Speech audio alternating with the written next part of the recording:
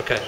molweni igama lami ngukhwezi shumi ngingu-center manager apha siyanamukela emleboni community sports center eh apha ngasemva kun- kunemidlalo yenkqubo yethu esiyibiza uba ngusinakho eh igenge yabafana namantombazana amancinci akhubazekileyo Yes.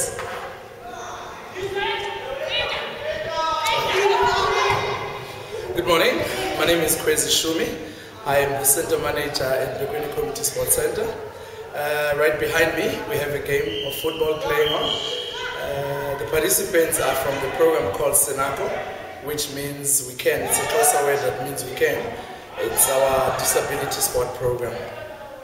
I'm just here to introduce them. Thank you very much.